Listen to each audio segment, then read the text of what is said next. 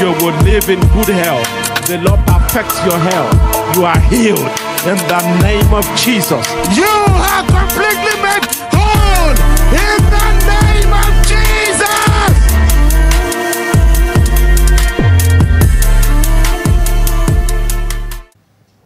Praise the Lord. For me, it's a very emotional day, very, very emotional. Uh, but God has His own way of working things. We all know what cancer is. I'm a doctor, I'm a medical practitioner before I became a politician. Cancer is final. In most cases, it's over. I, that stand before you, the first time I had cancer was over 16 years ago. God delivered me from it completely, totally. Totally. Totally. So, when I was diagnosed again last year of having cancer, it took me two weeks because I got the diagnosis the report. It took me two weeks to tell my wife. But in my heart, like David, who said, Who is this Goliath?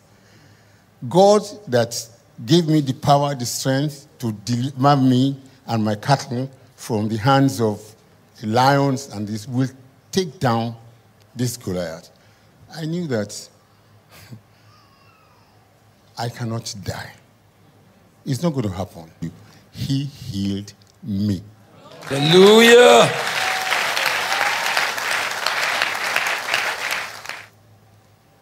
Nine months ago, I that stand before you, I was totally, completely helpless, prostrate. If I could do anything at all, is to only shift my position in bed. I could not get up. I have a life witness here. I could not get up, and if even if I wanted to go to the loo, my wife has to take me to the loo and walk me to the place. And when I'm done, she has to pull me up again to, to go to, back to bed. That was the best I could do. I had an intractable pain on this right hand. It was unrelenting. It was untreatable. It was not, it was not responding to any known drug. I am a doctor, I'm telling you. And I had that for 90 days or more. I was not sleeping. I don't know how God preserved my sanity. But I give you this profundity of this illness, and you compare it to the man that is standing before you, and then you see the immenseness of what the Lord has done.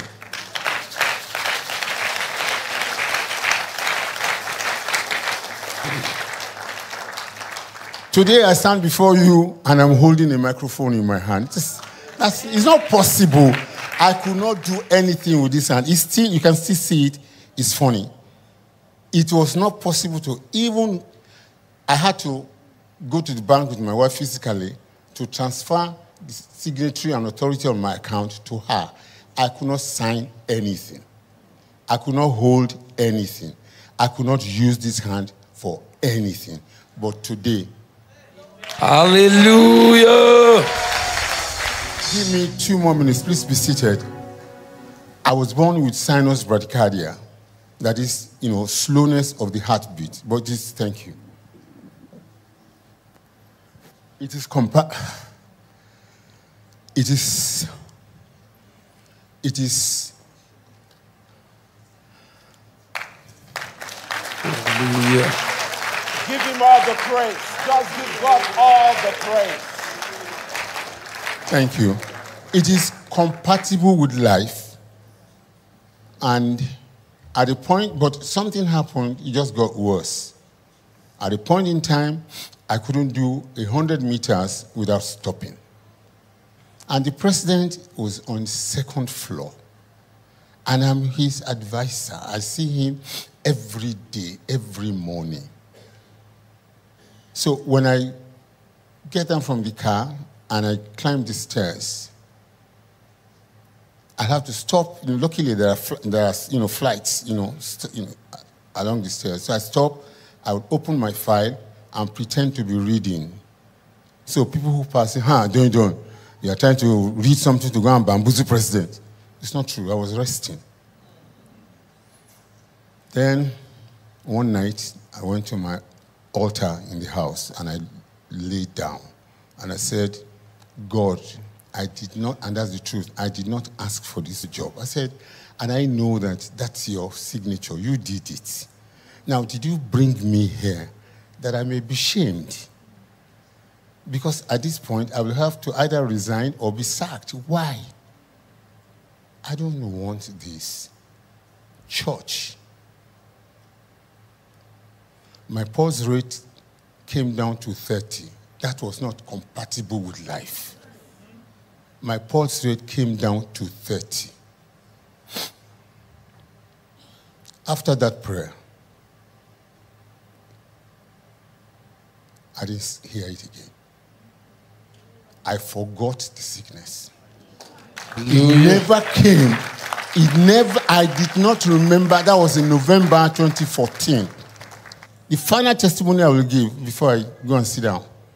For 20 years of my life, early life, every day I went to the toilet. Every morning, every day, I bled like a woman having menstruation.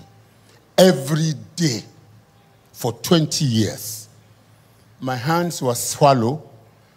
My eyes were pale. But when, when, when doctors, my friends say, ah, do you, why are you this pale? Olóyún I said, go and sleep. That's just how I am. I was okay. You know, you, you know, your body will compensate for it. Then one day I went to a friend's house. And somehow, normally I don't go to the toilet in people's houses because I know what, what my issues are. But my tummy was funny, so I went to the toilet. And when I finished, I was so happy. There was even nothing. So as I was about to pull up my pants, I just saw blood all over the floor in a, in a friend's house. There was no mop, there was nothing. What do I, what, should I call the wife or somebody to come and clean this place? Luckily, there were some toilet rolls. So I soaked them in water and I wiped the place to the best of my ability that the next user will not see blood. And I leaned against the washhand basin and put my head on the mirror. And I said, God, I am tired. I don't want this anymore. This is the 20th year I've never bled. Hallelujah.